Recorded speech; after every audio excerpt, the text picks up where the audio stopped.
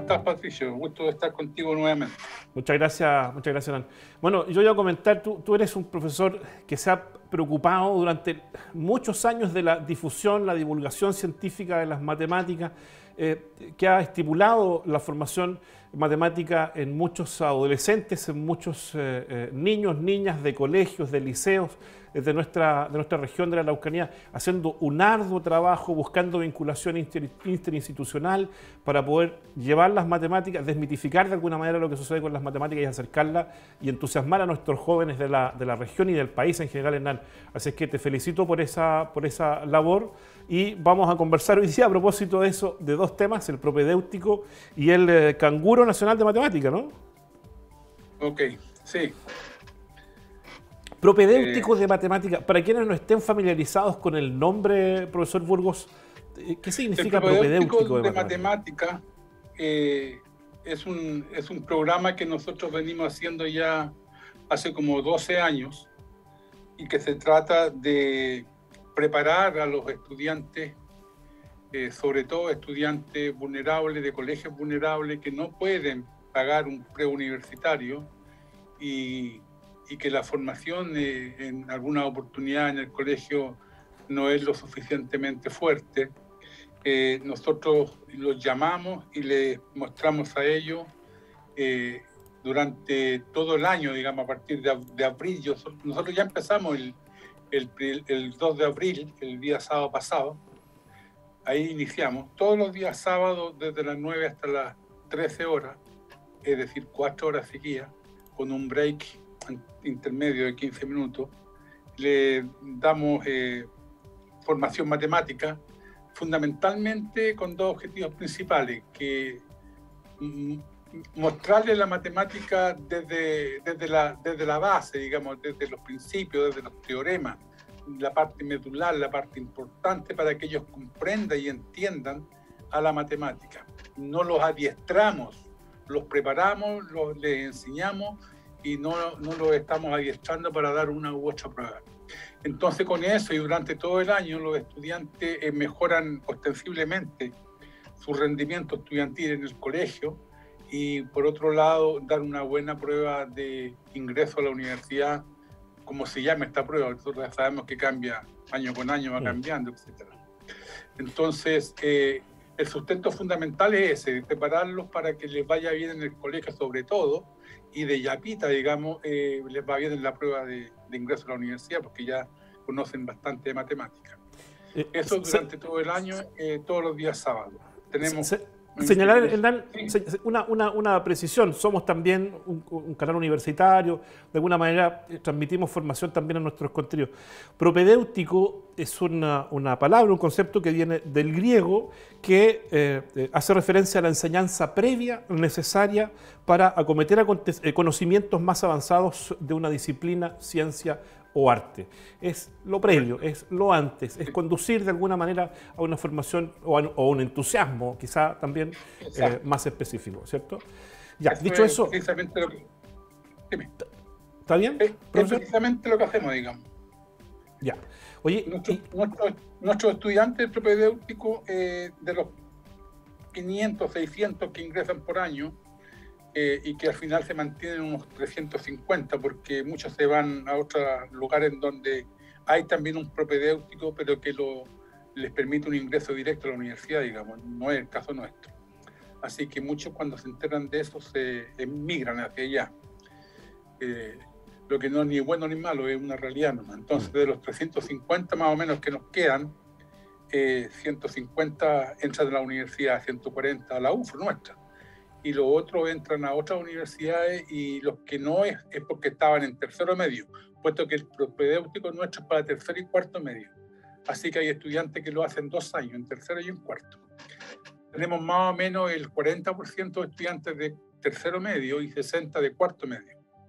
Así que es por eso que de los 350 o 400 que nos quedan, eh, hay como 150, 140 que entran a la UFRO otros 80 a 100 entran a otras universidades y el resto son gente que estuvo en, que está en tercero medio, digamos. El éxito es... Eh, eh, sí, estas clases ya comenzaron, ¿se cerró el proceso de convocatoria para el, para el propedéutico? Si es que hay algún eh, estudiante, alguna estudiante interesada en participar de, estas, eh, de, esta introducción a la matemática, ¿no? Sí, nosotros la demanda fue muy alta, tuvimos que hacer selección porque postularon muchísimos estudiantes, dejamos 400 presenciales en la UFRO los días sábados y 150 a 200 los dejamos eh, online los días martes y jueves eh, a las 6 de la tarde. Así es que eh, también están abiertas, es posible que los estudiantes que quieran participar puedan pedirnos participar y nosotros lo inscribimos en el propedéutico online, que ahí es capacidad mayor, digamos.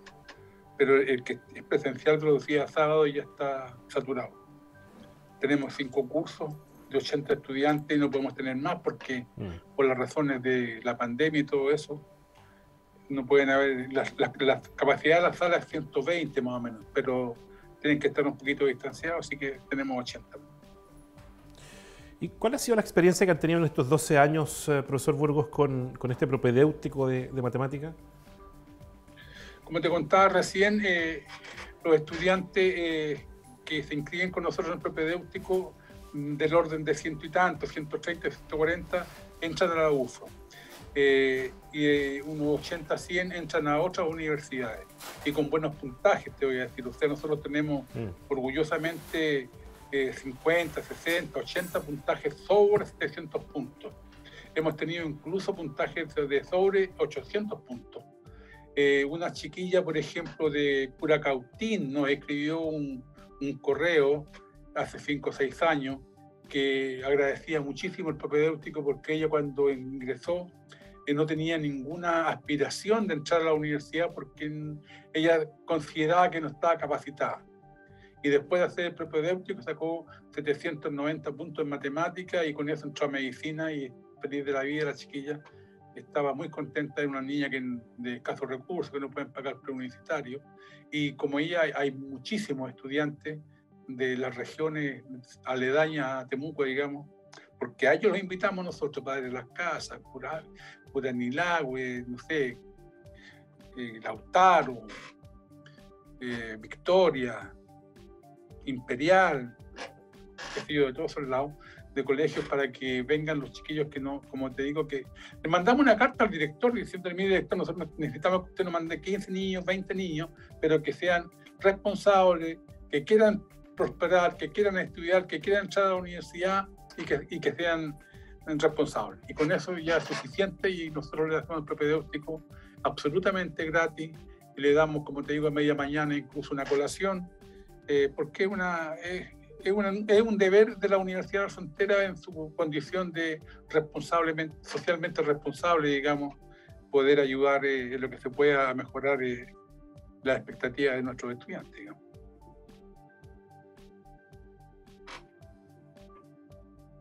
Importante, importante señalar, profesor, que eh, estas clases son impartidas por académicos de nuestra universidad, particularmente el Departamento de Matemática y Estadística, ¿verdad?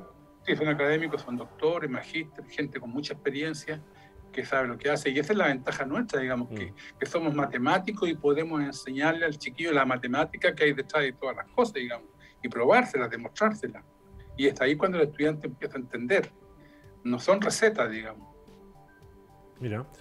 Ya, vamos a ir a, otra cosa, eh, porque dentro de la misma matemática, eh, la, Universidad de la Frontera está convocando, Hernán, a participar del concurso Canguro Matemático Chile 2022. ¿De qué se trata? el nombre ya es, llamativo, ¿no? Canguro Matemático. ¿Qué se trata esta, esta actividad, profesor?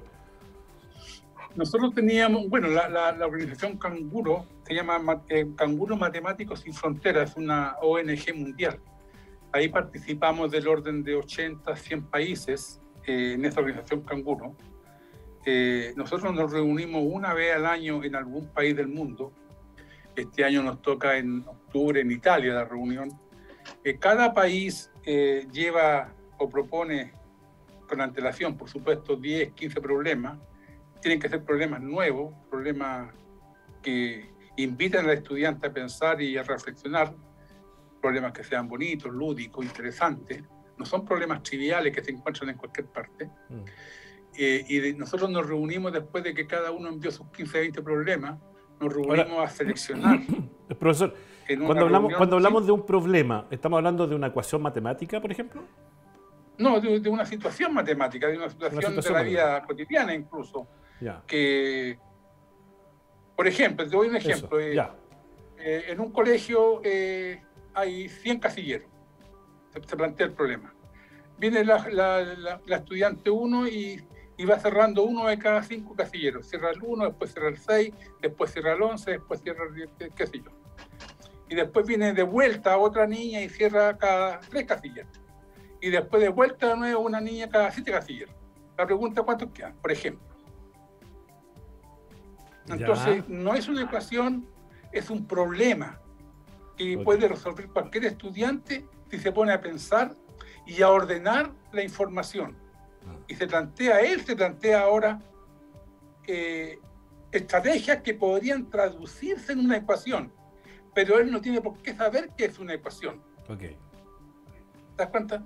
Esos son los problemas de, de, no de ingenio tampoco, sino que de, desafío al, ingenio y a la astucia del, estudiante. Entonces, un estudiante que no tiene la suerte de estar en un colegio eh, muy emblemático, caro, qué sé yo, pero que él, que él es inteligente y que él es curioso, él va a sacar mejores notas que un estudiante de un colegio emblemático, digamos. Porque la pregunta no es matemática pura, es, es, relacionar conceptos, contar, saber contar bien. Y para contar bien tú tienes que ordenar las cosas. Y para ordenar las cosas tienes que tener una metodología. ¿Sí? Perfecto. Eh, y esto se realiza entre el 9 y el 30 de abril, profesor Burgos, ¿verdad? Bueno, lo que te estoy contando entonces que esa reunión anual, eh, ahí seleccionamos nosotros una prueba mundial de 120 problemas. Esa prueba mundial se realiza en todo el mundo en la última semana de marzo. Como, como fundamentalmente son países europeos, a ellos les viene muy bien la semana de marzo, pero a nosotros no. Entonces nosotros lo hacemos un poco más tarde, en abril, mayo. Y eso es lo que nosotros hacíamos como eh, el insumo para el campeonato de matemática de la UFO. ¿sí? Pero ahora yo conversé con el ministerio y el ministerio se allanó y estamos haciendo el concurso ahora a nivel nacional. Y eso es lo que se llama concurso matemático, canguro matemático, digamos, 2022. Eso ya es con el Mineduc y es para todo el país. ¿Y en este, y en este participan niños desde qué, niños y niñas desde qué edad, profesor? Desde quinto básico hasta cuarto medio.